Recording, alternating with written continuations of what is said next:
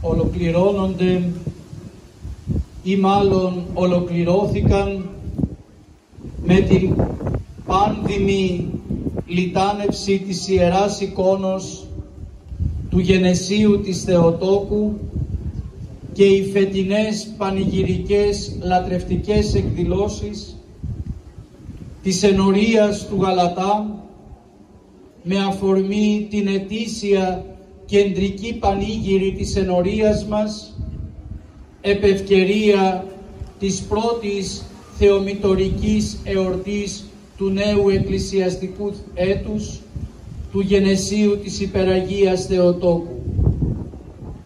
Και θα ήθελα αγαπητοί μου αδελφοί να ευχηθώ πρωτίστως σε όλους σας αυτό που ο Ιερός Υμνογράφος με έναν εμφαντικό τρόπο τονίζει στην έναρξη του απολυτικίου της σημερινής θεομητορικής εορτής.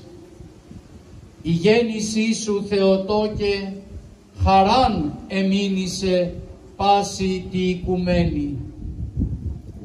Ένα προσκλητήριο λοιπόν χαράς και ταυτόχρονα μία εμπειρία χαράς βιώσαμε τούτες τις δύο ημέρες και δεν μπορεί παρά μόνο χαρά να πλημμυρίζει την ψυχή μας διότι γεννήθηκε εκείνη που θα γεννήσει τον Σωτήρα και Λυτρωτή Χριστό.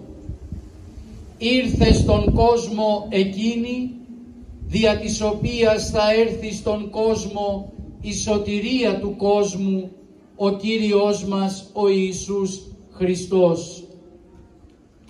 Την υποδέχθηκαν οι γονείς της, ο Ιωακήμ και η Άννα, εκείνη που θα υποδεχθεί μέσα στο σπήλαιο της Βιθλεέμ τον σαρκοθέντα Υιό και Λόγο του Θεού. Την κρατά σήμερα στη μητρική αγκάλη της η μητέρα της Ιάννα για να κρατήσει και εκείνη στη δική της μητρική αγκάλη τον αχώρητο Θεό, τον Κύριό μας Ιησού Χριστό. Γι' αυτό λοιπόν χαρά ανεκλάλητη πλημμυρίζει την ψυχή μας τούτη την ώρα. Γιατί η γέννηση της Θεοτόκου σηματοδοτεί την έναρξη του μυστηρίου της Θείας Οικονομίας αφού σήμερα γεννιέται εκείνη που θα καταστεί μητέρα του Θεού. Γεννιέται σήμερα εκείνη δια της οποίας η σωτηρία θα έλθει στον κόσμο.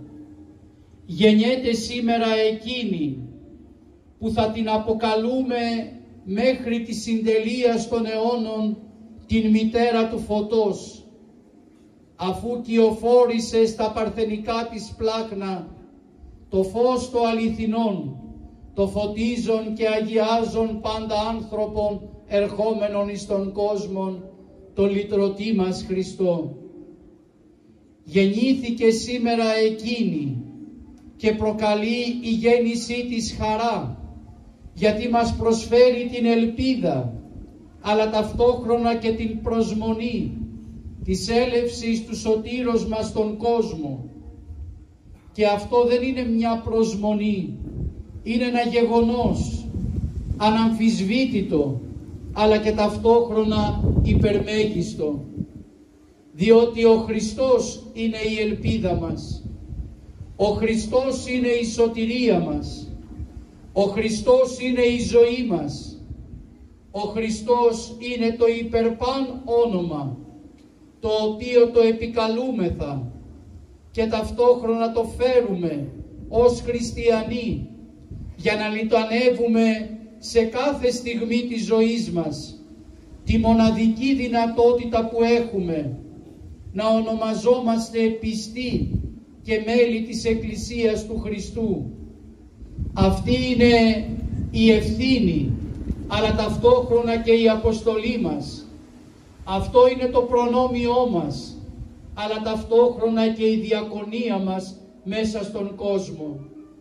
Ας κρατήσουμε λοιπόν σήμερα αυτή την χαρά, την πνευματική, την ανεκλάλητη, την πανεφρόσινη και μην επιτρέψουμε σε τίποτα και σε κανέναν να μειώσει αυτή την χαρά, να την αφαιρέσει από τη ζωή μας. Γιατί αγαπητοί μου αδελφοί, δυστυχώς και πρέπει να το ομολογήσουμε αυτό, το καλοκαίρι που πέρασε προσέφερε λύπη, προκάλεσε πόνο, προξένησε οδύνη στις ψυχές μας, καθώς με όλες τις αισθήσεις μας παρατηρούσαμε μεγάλα τμήματα της ελληνικής επικράτειας να παραδίδονται στη λέλαπα του πυρός. Και σαν να μην έφτανε αυτή η τραγωδία εδώ και τέσσερις ημέρες παρακολουθούμε ενεή ένα άλλο φυσικό φαινόμενο την πλημμύρα να κατασπαράσει κυριολεκτικά πανέμορφες περιοχές της Θεσσαλικής γης. Η μανία του ύδατος ξέσπασε και πάλι, κατέστρεψε σπιτικά, μετέτρεψε έφορες γης, έφορη γη σε αχανή λίμνη. Προσέφερε και προκάλεσε τον πανικό στους ανθρώπους και δυστυχώς μετράμε αυτή τη στιγμή δεκάδες θύματα, αναρρύθμιτους εγκλωβισμένους, ανθρώπους συμπατριώτες μας που αναγκάστηκαν να εγκαταλείψουν βία τα σπιτικά τους και αναζητούν ένα νέο χώρο πια για να τους φιλοξενήσει. Είναι δυστυχώς όλα αυτά τα γεγονότα που προκαλούν λύπη, οδύνη, πόνο και στεναγμό στη ζωή μας. Οι ηθήνοντες θα πρέπει να λάβουν μεγάλες και γενναίες αποφάσεις, αλλά και όλοι μας πρέπει να προβληματιστούμε, γιατί τελικά το οικολογικό πρόβλημα δεν είναι μια θεωρία που απασχολούσε κάποιους διανοούμενους, θεολόγους ή επιστήμονες το οικολογικό τελικά πρόβλημα είναι ίσως η μεγαλύτερη απειλή αυτή τη στιγμή στον πλανήτη. Και αν δεν το διαπιστώσουμε αυτό, μέρα με την ημέρα θα βρισκόμαστε αντιμέτωποι μπροστά σε ακραία φυσικά φαινόμενα, μπροστά στα οποία ο άνθρωπος αποδεικνύεται παντελώς ανίσχυρος, απροετοίμαστος και ανίκανος να τα αντιμετωπίσει. Γι' αυτό λοιπόν έχουμε ανάγκη την πνευματική χαρά της σημερινής εορτής. Είναι μεγάλη η δοκιμασία. Πρέπει να γίνει μεγαλύτερη η προσευχή μας. Είναι μεγάλος ο πόνος, αλλά όμως είναι μεγάλη και η ελπίδα μας στον Χριστό. Πιστεύουμε ακράδαντα ότι δεν θα μας εγκαταλείψει. Θα μας φωτίσει να πάρουμε τις πλέον σωστές και ενδεδειγμένες αποφάσεις. Θα μας παροτρύνει να δημιουργήσουμε ένα κίνημα φιλανθρωπίας και αλληλεγγύης. Σήμερα είναι η Θεσσαλία, αύριο ποιος ξέρει μπορεί να είναι η επόμενη περιοχή. Πρέπει λοιπόν να αποδείξουμε την αλληλεγγύη μας, να στρέψουμε το ενδιαφέρον μας και την προσφορά μας στους εκατοντάδες συμπατριώτες μας που πάσχουν αυτή τη στιγμή όντας θύματα αυτού του ακραίου φυσικού γεγονότος. Γι' αυτό η χαρά η σημερινή πρέπει να είναι μόνιμος συνοδοιπόρος στη ζωή μας και για το φθινόπωρο που ξεκίνησε, αλλά και για τον χειμώνα που σύντομα θα έρθει. Δεν γνωρίζουμε τι μας επιφυλάσσει ο Θεός. Γι' αυτό πρέπει να διατηρήσουμε όλη την ενότητά μας.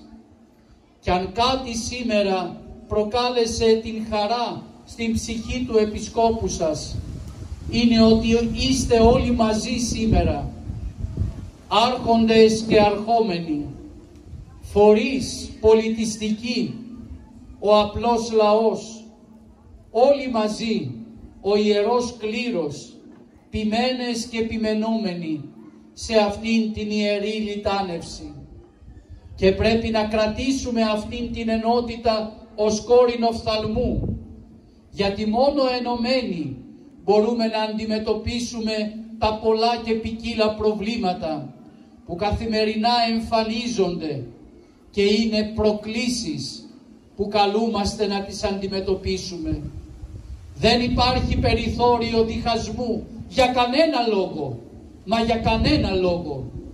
Πρέπει όλοι να παραμείνουμε ενωμένοι, να μην αφήσουμε τίποτα να μας διχάσει, να υπακούουμε στην Εκκλησία, να μείνουμε προσιλωμένοι στις παραδόσεις μας, στα ήθη και στα έθιμά μας, να διδάξουμε τα παιδιά μας την ιστορία μας, την αγάπη για την πατρίδα, για την πίστη, να τα παροτρύνουμε να μαθητεύουν με συνέπεια μέσα στην εκπαιδευτική διαδικασία. Η μόρφωση είναι απαραίτητο στοιχείο για να πετύχουν στα όνειρα της ζωής τους και να ενταχθούν μέσα στο κοινωνικό σύνολο ως χρήσιμοι πολίτες αυτής της κοινωνίας. Να συμπαρασταθούμε στην ελληνική οικογένεια που είναι μία και πάντοτε θα είναι μία και κανένας δεν θα μπορέσει να προσθέσει κανένα είδος οικογένειας μέσα στην ελληνική πραγματικότητα όσο κι αν το επιβάλλουν ευρωπαϊκές επιταγές. Εμείς στην Ελλάδα θα αναγνωρίζουμε πάντοτε έναν πατέρα που θα είναι άντρας και μία μητέρα που θα είναι γυναίκα και μόνο αυτοί θα έχουν δικαίωμα να φέρουν στον κόσμο τα παιδιά τους ως καρπό της συζυγίας και της αγάπης τους. Ίσως αγαπητοί μου αδελφοί αυτός ο χειμώνας θα είναι καθοριστικός. Γι' αυτό θα πρέπει να παραμείνουμε όλοι μέτοχοι αυτής της χαράς και ταυτόχρονα ενωμένοι, συσπηρωμένοι γύρω από την Εκκλησία, τις παραδόσεις, τα ήθη και τα έθιμά μας. Θέλω να ευχαριστήσω τον καλό εφημέριό σας, τον εδεσιμολογιότατο πρωτοπρεσβύτερο πατέρα Γεώργιο Μπίμπο, πρόεδρο του Εκκλησιαστικού Συμβουλίου του Ιερού Αυτού Ναού, διότι προετοίμασε την πανήγυρη με τους εκλεκτούς συνεργάτες του και συνέβαλε τα μέγιστα στην επιτυχή έκβαση της Ιεράς Λιτανίας. Αλλά συνεχίζει και τα έργα του εξοραϊσμού του Ιερού Ναού με την τοποθέτηση του Ιερού Συνθρόνου στο Ιερό Βήμα και με ό,τι άλλο έχει καλό προγραμματίσει εκείνος και οι συνεργάτες του. Τον παρακαλώ σε συνεργασία με όλους τους τοπικούς φορείς, τους πολιτιστικούς συλλόγους, τον Σύλλογο Γονέων και Κιδεμόνων, να προγραμματίσουν τη νέα εκκλησιαστική χρονιά και δράσεις κατηχητικές και ιεραποστολικές που θα αφορούν τα παιδιά σας πρωτίστως.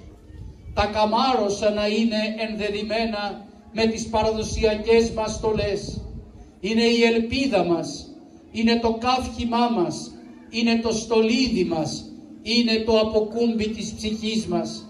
Γι' αυτά πρέπει να εργαζόμαστε, γι' αυτά πρέπει να μοχθούμε. Το μέλλον τους ανήκει και πρέπει με αγωνία να αφουγκραζόμαστε τι θα τους παραδώσουμε και σε ποια κοινωνία θα κληθούν σε λίγα χρόνια να εισέλθουν. Θέλω να ευχαριστήσω και τους ευλαβεστάτους εφημερίους και πρεσβυτέρους άλλων ενωριών που ήλθαν και λάμπριναν με την παρουσία τους τον πανηγυρικό μας εσπερινό και τη λιτάνευση της Ιεράς Εικόνος, τους ιεροψάλτες, την φιλαρμονική του Ιερού του Δήμου της Ιεράς Πόλεως του Μεσολογγίου, τα παραδοσιακά συγκροτήματα των πολιτιστικών συλλόγων, τους άνδρες που έφεραν στους ώμους τους το Ιερό Κουβούκλιο και όλους ανεξαιρέτως τους άρχοντες και τους υποψηφίους σε όλες τις βαθμίδες της τοπικής αυτοδιοίκησης. Κυρίως όμως και προπάντων θέλω να ευχαριστήσω εσάς, τον ευλογημένο και περιούσιο λαό αυτής της ενορίας. Να σας συγχαρώ για την παρουσία σας. Σας ευλογώ μέσα από την καρδιά μου. Σας προσφέρω την ανυπόκριτη πατρική μου αγάπη, αλλά ταυτόχρονα και την αρχαιρατική μου ευχή και ευλογία. Η Παναγία μας εύχομαι ολόψυχα αδελφοί μου και παιδιά μου να σας χαρίζει υγεία πάνω απ' όλα, σωματική και πνευματική, να σας χαρίζει δύναμη, κουράγιο και απαντοχή, να απομακρύνει κάθε πειρασμό και επιβουλή του εναντίου από τη ζωή σας, να σας χαρίζει την ευλογία, να χαίρεστε τις οικογένειές σας, να καμαρώνετε τα παιδιά σας και να βλέπετε τα όνειρά σας για αυτά να πραγματοποιούνται. Εμείς, ο Επίσκοπος και οι ιερείς και η τοπική μας Εκκλησία θα παραμείνουμε πάντοτε αγρυπρούντες για ό,τι καλό πρέπει να σας προσφέρουμε και έχουμε απόλυτη ευθύνη και συνέστηση αυτής της ευθύνης που μας ανέθεσε ο Θεός να είμαστε ποιμένες καλοί, να προπορευόμαστε για εσάς και ταυτόχρονα να σας προσφέρουμε τη μοναδική και ανεπανάληπτη χαρά που δεν είναι τίποτε άλλο και πάνω από αυτήν παρά μόνο η πίστη μας και η αγάπη μας προς τον Ιησού Χριστό και ο σεβασμός μας και η αφοσίωσή μας στο πάντιμο πρόσωπο της Παναγίας Μητέρας Του. Χρόνια σας πολλά και ευλογημένα, καλό φθινόπορο, καλή εκπαιδευτική χρονιά, η χάρις του Αγίου Θεού διαπρεσβειών της Παναγίας μας να είναι πάντοτε μαζί σας. Διευχών των Αγίων Πατέρων ημών, Κύριε Ιησού Χριστέ ο Θεός, ελέησον και σώσον ημάς.